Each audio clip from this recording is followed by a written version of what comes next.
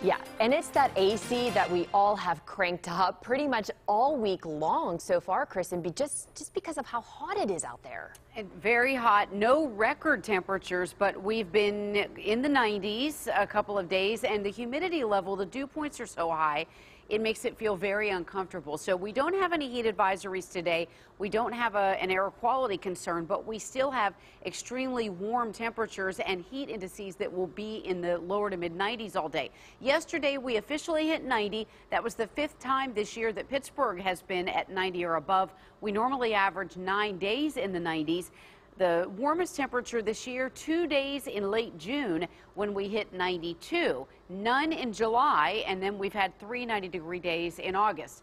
Then we had the storms that bubbled up yesterday, hitting especially Allegheny and Butler counties very hard. Here are some of the rainfall totals, and boy, it varied widely. Hampton got 1.85 inches of rain, Bethel Park just under an inch and a third.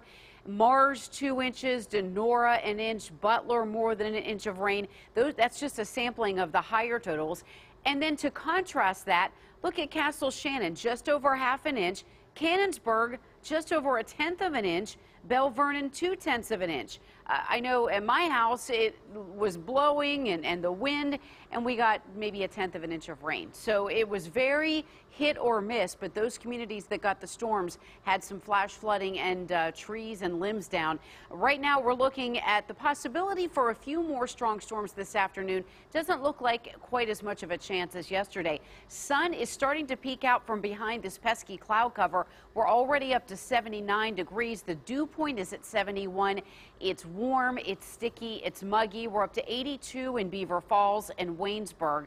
Morgantown 83 for the warm spot.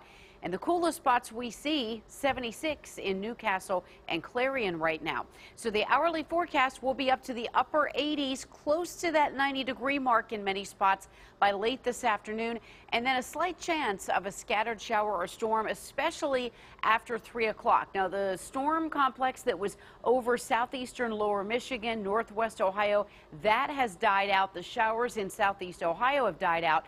So we'll just have to wait and see. Once this cloud cover, you can see it's beginning to kind of uh, move out there. Once we get the cloud cover moving out, the sun comes up out, we could get uh, a couple of thunderstorms bubbling up with the heat of the day later this afternoon. But it's nothing organized. It'll just be sort of pop-up convection here and there. Tomorrow, a slightly better chance that we could see a few afternoon scattered showers and storms.